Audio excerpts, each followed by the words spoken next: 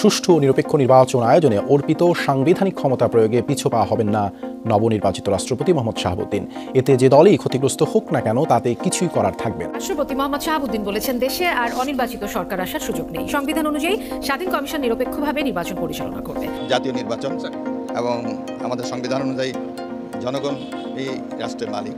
সংবিধানের সাবধারা অনুযায়ী সেখানে পরিষ্কার বলা আছে যে জনগণের দেশের মালিক জনগণ।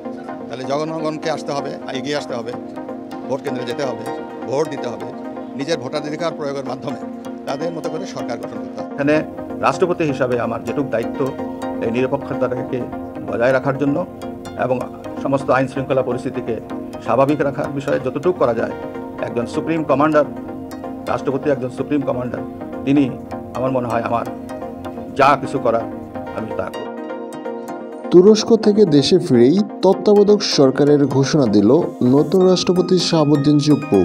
দেশে অরাজকতা পরিবেশ সৃষ্টির জন্যই তত্ত্বাবধায়ক সরকার ঘোষণা করা হয়েছে বলে জানান এই নতুন রাষ্ট্রপতি।